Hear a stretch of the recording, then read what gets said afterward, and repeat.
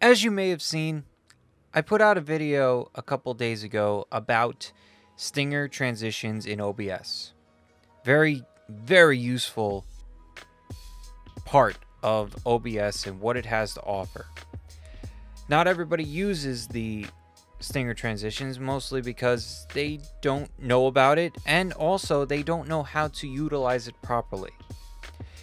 Nowadays, you can get them anywhere. You could buy them on websites. You could hire someone on Fiverr to make one for you.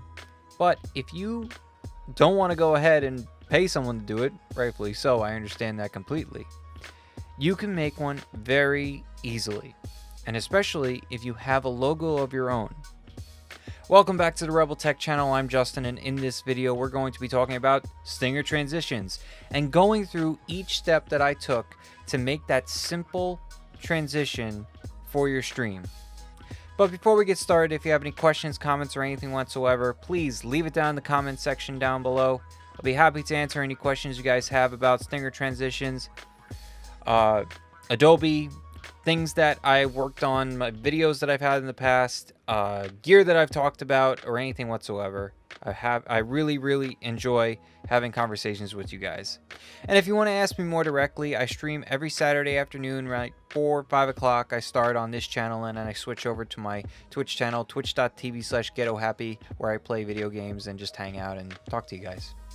Also, if you found this video helpful, entertaining, or anything whatsoever, please leave a like and consider subscribing.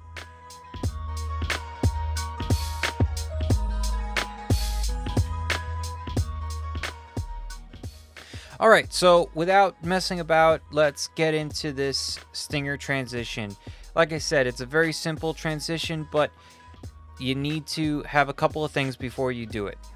Now, what I did was I have my logo here, my Ghetto Happy smiley face, and we're going to animate that very simply to make this transition. And if you see my OBS video on Stinger transitions, you will know exactly how it comes out. The issue that I had with this is the image that I have isn't 1920 by 1080, which is the format for my stream. So what I did was basically took a picture that I knew that was 1920 by 1080, threw it in here to make the sequence here 1920 by 1080. Then I just delete that, bring this in, scale the frame size, and there you go. There's the way to start it. From here, we start throwing in keyframes and animating it. So first off, if you want to make this like I made it, let's start off with making those keyframes. So to make a keyframe in Adobe, basically you go to effects controls up there in the corner and you're gonna go to motion.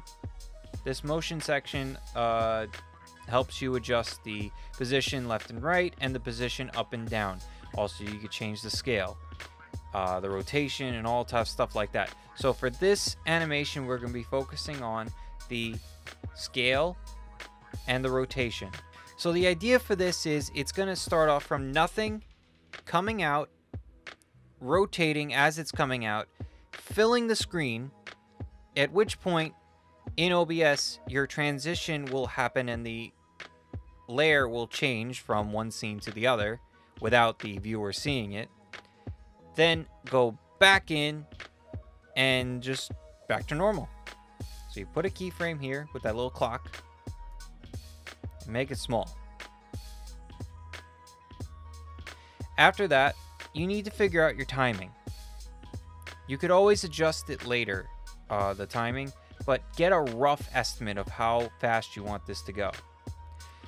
From what I remember, when I was doing this the first time. This is not going to be exact to the, the first time I did it, but maybe I could perfect it a little bit more. Your transition doesn't necessarily have to be like that long. Like right now, this is a four second clip. You probably don't need a four second clip. So we're to get this down to, let's say, two seconds.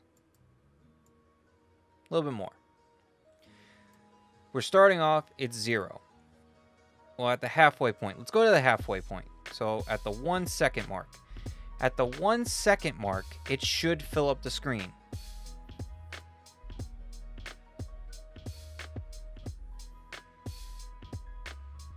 Like that. When all the yellow here is in frame. But that's not the only thing that's going to be going on in this transition.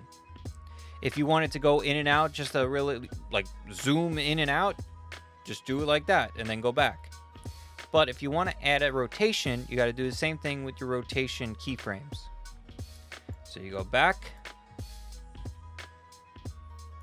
make a keyframe here. If you want to match up perfectly, which you probably should, use that little arrow there. It will go right to the next keyframe and it will match up. At this point, I think 180 degrees should be fine because we're going to make a full rotation as it's going. Next up, it's going to go back just a second before so that you can actually see what's going on. And at that point, you're going to be at 0 and 360. Sure, you can uh, do it more or less. It, just do the 360 and you will have the full rotation. Otherwise if you go oh i'll put it back to zero it's going to rotate back the other way.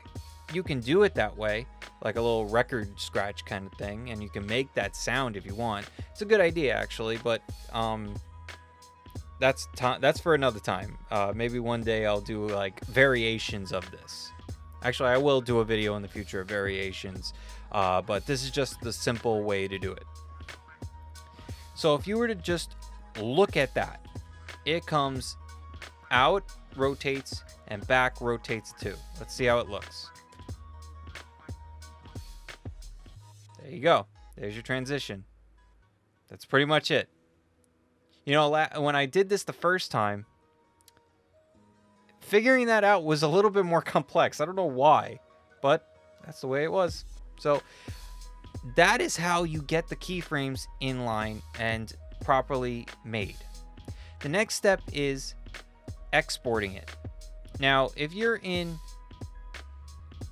After Effects or something like that, it's made for animations and everything like that. When you're in Premiere, you got to make sure that you got your export specs just right. So what you're going to do is you're going to do Control M. At this point, we're not going to do audio, but Remember, we need to have this as QuickTime and animation. This animation drop down option is to allow you to export with a transparent background, meaning if your image is a PNG, it will cut out the background and just have the PNG image. It's kind of like exporting the images, like if you've seen uh, my video on a border for your camera, exporting as a PNG allows you to have a transparent background. 1920 by 1080, you're good there. Maximum render quality, maximum render quality.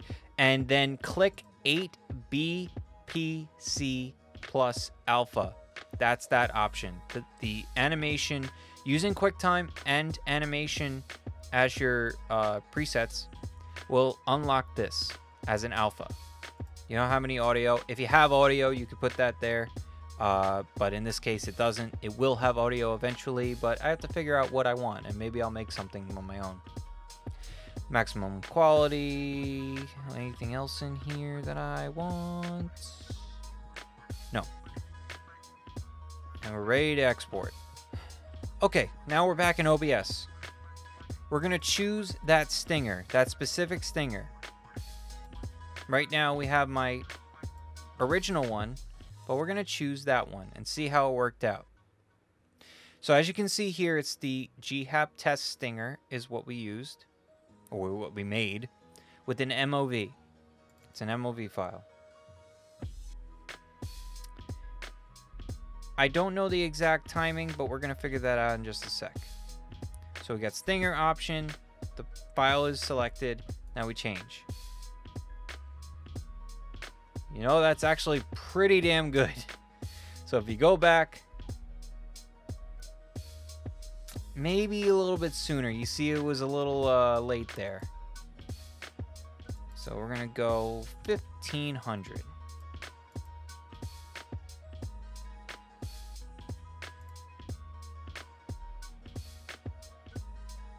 Maybe just a little bit more. Go 14.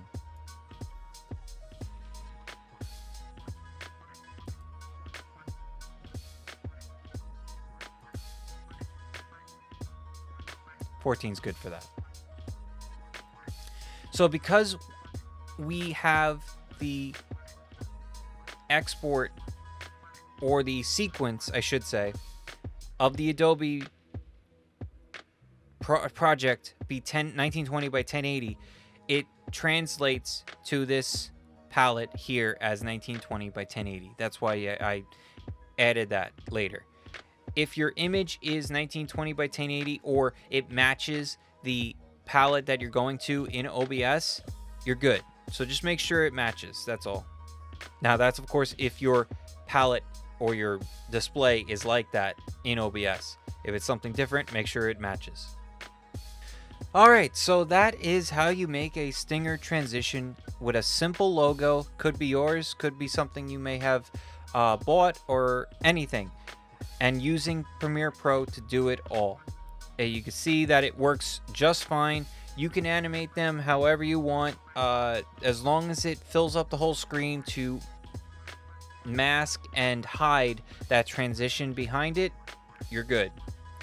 And there's plenty more ways to do it. There's plenty more uh, extreme ways to do it and really get something really cool.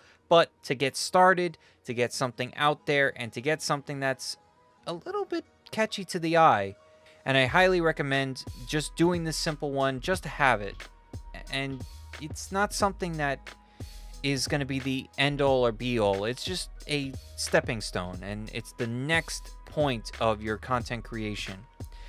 I have said this before, and there's something about, and there's something to having a piece that you've created on your stream or in your content uh, as opposed to buying something. It's a sense of pride and it's a sense of I did that. And maybe it's not perfect, maybe it's not the greatest, but you did it.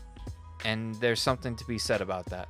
That all being said, thank you all for watching. Hope you all enjoyed it. Hope it helped. And I hope to see you guys put things out. If you guys make these things and uh, have your own versions of this, uh, please uh, send them to me. Uh, I leave links, and on the YouTube channel, there are links to my uh, Twitter, uh, or just a link, just one Twitter. Uh, just tag me in it and say, hey, I created this because you showed me. That's fine. I'd be happy to see you guys put out stuff and try to make it better. I hope you guys make it better because I want to push myself. Uh, I, like if I see something better than what I did, I need to figure out how to do it and then make mine better. And we're gonna push each other and get each other to a better level of content creation, working together to do it. So yes, please leave a like, please leave a comment, all that stuff. If you want to check me out on my stream every Saturday afternoon, uh, 5, 6 o'clock, 4, whenever I feel like getting on there, no later than 6 usually.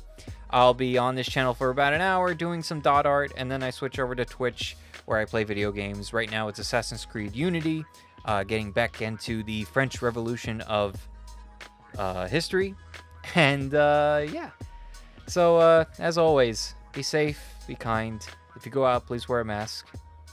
And I will see you in the next video.